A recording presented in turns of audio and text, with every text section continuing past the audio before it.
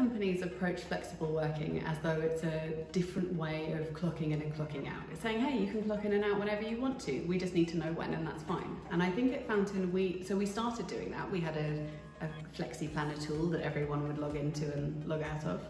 Um, but we actually realised that that wasn't what flexible working was about for us. We trust that the team members that we have employed to work with us want to do their job and want to do it well.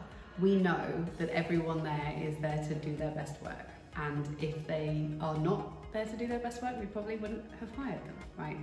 So instead of micromanaging when people start and when they finish, even if it's not that sort of strict nine to five it has to be, or, you know, like, yeah, clock in, clock off, to me sounds sort of very, very micromanaging. Instead, it's about saying, okay, we trust you to get the work done that you need to do, and then we want to, you to do that in a way that works for you. And right from the early days at Fountain, we had people who started work at 7.30 and finished at 3.30. Um, I don't think we have anyone that extreme at the moment, but there are lots of people who start at 8 and finish at 4, or who regularly say, hey, I'm going to be at, at 10 instead of 9. We recognise that work is a really big part of life, and we don't want it to take over at all, right? We want it to be a healthy, natural part of life. And so if, for example, you need to get home at 4 p.m. every day in order to walk your dog, then what does it matter to us if you start at 8 and finish at 4?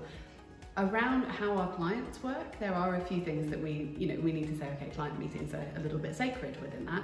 But for everything else, what we worked out quite early on was that if we trust people to do their work well, and we ask them to communicate openly and clearly and honestly with us, not have to ask permission for times to be at work differently, but actually just to say, hey, this is when I'm going to be working today. That as long as there's clear communication with it and as long as we trust people to get on with their work, we're in a really luxurious position that we can just say, yeah, work whenever suits you.